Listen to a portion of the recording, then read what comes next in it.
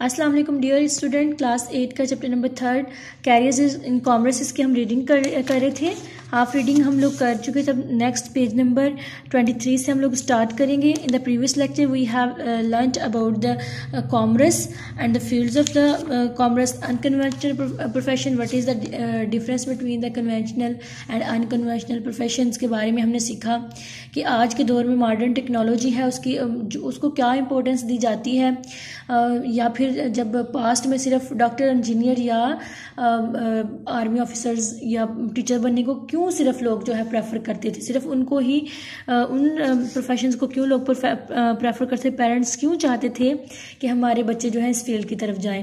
मैंने आपको रीज़न बताया था कि उसका रीज़न था कि प्रोफेशन को रिस्पेक्ट बहुत ज़्यादा दी जाती है और जो है अच्छे खासे वो प्रॉफिटेबल प्रोफेशन भी होते हैं। लेकिन now the world is going to change अब जो है मॉडर्न टेक्नोलॉजी का दौर है, उसमें डिफरेंट फील्ड्स हैं। जैसे हमने कॉमर्स के कॉमर्स फ़ील्ड के बारे में डिस्कस किया कि ये जो है टॉपिक हमारा this is this is a dialogue between teacher and his students on the topic of commerce conventional and unconventional profession बहुत ज़्यादा इंटरेस्टिंग वो लोग डिस्कशन करते हैं इसके अंदर। इसमें वो लोग जो हैं जो टीचर हैं उनको बता, बताते हैं कि एक अकाउंटेंट और मुंशी की ड्यूटी जो है आलमोस्ट सेम होती है लेकिन मुंशी जो है वो लैंड ऑनर्स के साथ रहता था और उनके हिसाब किताब रखता था लेकिन अकाउंटेंट जो है वो ऑफ़िस में काम करता है और उसमें और हर फ़ील्ड का डिफरेंट जो है ये एक जो है फ़ील्ड होती है एक प्रोफेशन होता है अकाउंटेंट का। जैसे अगर बात करते हैं हम लोग स्कूल के बारे में स्कूल में भी आप देखते हैं कि एक अलहदा से डिपार्टमेंट बना होता है अकाउंट्स का। और अकाउंट्स और अकाउंटेंट में डिफरेंस ये होता है कि अकाउंट जो अकाउंट वो जगह जिस पे सारा मनी का हिसाब किताब रखा जा रहा है अकाउंटेंट मीन्स जो पर्सन उसके बारे में हिसाब किताब रख रहा है। Okay let start Asad what is sir what is account mister Kamran keeping records, particularly of money, is an account. We have different accounts. Like business accounts and bank accounts Asad जो है वो क्या question पूछ रहा है? Sir से कि account क्या होता है? तो उन्हें बता रहे हैं कि जो हम डिफरेंट हमारे पास मनी का जो रिकॉर्ड होता है, उसको हम लोग अकाउंट कहते हैं। और उसके अलावा बिज़नेस अकाउंट्स और बैंक अकाउंट्स मीन्स मैंने आपको बताया ना कि हर प्रोफेशन से रिलेटेड अब अकाउंट्स जो हैं, आ चुके हुए हैं। Keeping record particularly of money is called an account. We have different accounts like business accounts and bank accounts. Avas, it means an accountant is the person who handles the accounts. Is it, is it not? Mr. Kamran, yes, you are right. Aslan raises his hand. Let me explain first an account shows the business transaction of an individual, a group or a company accounts have a particular system of debate and credit और इन्स and outs ठीक है? अब जो है sir जब उनको बताते हैं तो अवैस आगे से क्या कहता है? मीन्स के अकाउंटेंट वो पर्सन है जो अकाउंट्स को हैंडल करता है। मिस्टर कामरान कहते हैं उनके जो टीचर हैं, वो कहते हैं, जी, बिल्कुल आपने ठीक कहा, इतनी ही देर में ऐसा नेक्स्ट स्टूडेंट जो है, अपना वो हैंड रेज करता है वो क्या पूछ रहा है? कि अकाउंट जो है, वो शो करता है बिज़नेस ट्रांजेक्शन को एज एन इंडिविजुअल भी और ग्रुप की फॉर्म में भी। और अकाउंट जो है, एक पर्टिकुलर सिस्टम होता है इन एंड आउट का, कि जो सारा रिकॉर्ड होता है मनी का रखना होता है कि क्या चीज़ हमारे पास आई है, कितना उनको प्रॉफिट हुआ है, या कितना जो है हमारी इन्वेस्टमेंट हुई है, ये सारा सिस्टम इसमें डिस्कस किया जाता है। फॉर एग्ज़ाम्पल अगर हम देखते हैं तो स्कूल में भी डेली एक जो है बैलेंस शीट बनाई जाती है, जिसमें इन और आउट सारे जो है, जितने एक्सपेंसिस स्कूल के खर्च एक्सपेंस एक्सपेंसेस के लिए पैसे खर्च हुए या फिर जितने ज़्यादा जो है फीसिस वगैरह आई, जो चार्जेस क्लियर हुए, उसके बारे में शीट जो है प्रिपेयर की जाती है। सेम एज हर प्रोफेशन में होता है, उसका एक रिकॉर्ड रखा जाता है। A bank account is a record of drawing and depositing money and a particular account by an individual और a group it may be current और saving saving account is also called deposit account and accountants not only manage this account but they also advise people on accountant on how to use the assets and how to invest money उसके अलावा bank account के बारे में बताया कि वो record रखता है डिपॉजिटिंग मनी का एक पर्टिकुलर अकाउंट में। मीन्स अगर किसी ने अपना जो है मनी वगैरह बैंक में डिपॉजिट करवानी है तो हर पर्सन का अलहदा से एक अकाउंट बनता है। सैलरीज वगैरह के लिए भी अकाउंट बनते हैं। जो गवर्नमेंट एम्प्लॉयज़ होती हैं, उनकी सैलरी जो है बैंक अकाउंट्स में भी आती है। अब तो प्राइवेट एम्प्लॉयज़ जो है, उनके लिए अकाउंट अकाउंट्स वगैरह बने होते हैं तो उसमें जो है उनकी सैलरी डिपॉजिट वो लोग करवाते हैं। कहते हैं जो एक ये मैनेज करता है, और उसके अलावा ये मैनेज किस चीज़ को कर रहा है? दीज अकाउंट बट दे इन सब जो है, अकाउंट्स पे काम इसका जो अकाउंटेंट होता है, वो सारे अकाउंट को मैनेज करता है। इसके अलावा जो पीपल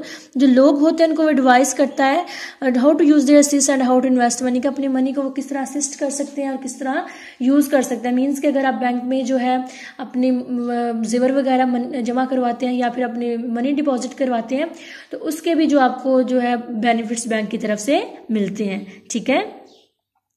नेक्स्ट देखिए sir Ehsan sir it seems an account is very powerful person and can deceive uh, his um, uh, uh, company easily. He should be very honest is it not?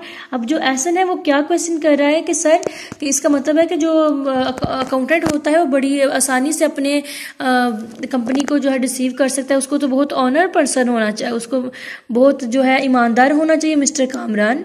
Asan good. You are, you have raised a good point. All of us should be honest whether someone checks us or not. But we should know that an accountant is not so free. An auditor can pinpoint the errors committed by an accountant. He officially examines the business and financial records of a company. अब देखें, इसमें उन्होंने क्या चीज़ बताई है कि जो है, कि सर कह रहे हैं कि तुमने बहुत अच्छा पॉइंट रेज किया है।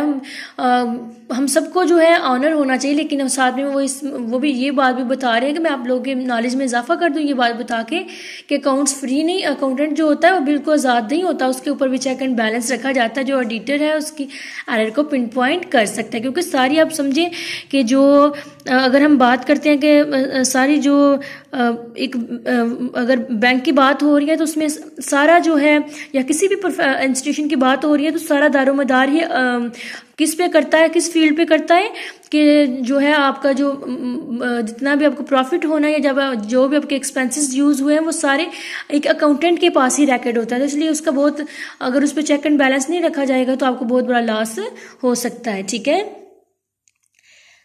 Awais would you like to tell more about profession related to business business and account means के बच्चे जो आप देखें, आप देख सकते हैं स्टोरी के अंदर, ये बच्चे जो है डायलॉग में बड़े अच्छे तरीके से पार्टिसिपेट कर रहे हैं, वो बार बार टीचर से किन चीज़ों के बारे में पूछ रहे हैं अनकन्वेंशनल प्रोफेशन से रिलेटेड वो बहुत ज़्यादा इन्फॉर्मेशन इकट्ठी कर रहे हैं, अपने टीचर्स टीचर्स के टीचर्स के साथ शेयर भी कर रहे हैं और उनसे सीख भी रहे हैं। मीन्स के बच्चे बहुत इंटरेस्ट ले रहे हैं। मैंने आपको स्टार्ट में ही बताया था कि हमारे यहाँ बच्चों को उस फ़ील्ड की तरफ़ जिसकी फ़ील्ड की तरफ़ पेरेंट्स समझ रहे होते हैं उनके लिए बेटर है, उसकी तरफ़ उनको भेज दिया जाता है, चाहे बच्चों का उसमें इंटरेस्ट हो या ना हो।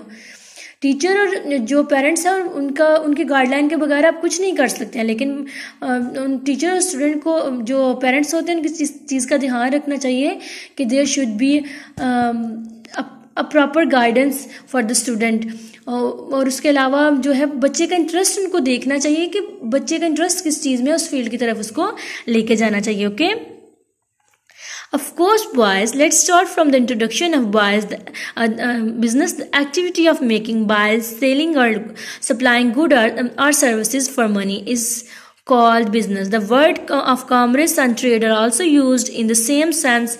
Business at a large scale, especially between countries, is called commerce and such a business takes the form of an enterprise, a company or a commercial organization.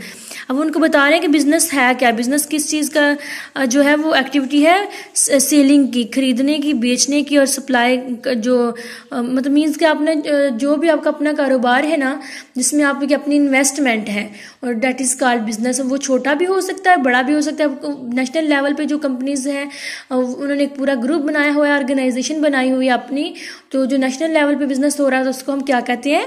Commerce कहते हैं। It is very important to manage such business gents various types of management skills are required for this सबसे important चीज़ है management आप business चला रहे हैं तो आपको मैनेजमेंट आनी चाहिए। चाहे आप एक स्कूल चला रहे हैं, चाहे आप कॉलेज चला रहे हैं, या आपका आपकी कोई बहुत बड़ी कंपनी है किसी चीज़ की गुड्स की सप्लाइंग की बाइंग की सेलिंग की मीन्स आपका छोटा काम है या बहुत बड़ा काम है। उसमें वो कामयाब तब है when you are good manager ठीक है? लास्ट पैराग्राफ पढ़ते हैं। जो है, दाऊद क्या क्वेश्चन कर रहा है कि, सर बिज़नेस क्या होता है? Mister कामराम voice you must know the each field of knowledge has its own terminology the words are phrases use in the in special field of knowledge and profession have their particular sense उनको बता रहे हैं कि हर field के अपने profession होते हैं, अपनी जो है उसमें ये जो है होटल मैनेजमेंट है ह्यूमन रिसोर्स है रिटायल मैनेजमेंट है सिमिलर बिज़नेस एडमिनिस्ट्रेशन जो भी है, उनका अपना एक, जो है पूरा एक पूरा जो सिस्टम होता है, उसको मैनेज करने के लिए, उस पर चेक कर बैलेंस रखने के लिए मैनेजमेंट होना ज़रूरी है। ठीक है, अगर मैनेजमेंट गुड होगी तो ऑटोमेटिकली आपका सारा काम जो है, अपना, आपका सारा जो है अच्छा स्टाफ है अच्छा परफॉर्म करेगा ओके ये जो रीडिंग है, आप लोगों ने विद ट्रांजेक्शन करनी है, उसको अच्छी तरह से इसके अंदर जो टर्म्स हमने पढ़ी है इनको अच्छी तरह से अंडरस्टैंड करना है, उनके बारे में इन्फॉर्मेशन हासिल करनी है ओके अल्लाह हाफिज़।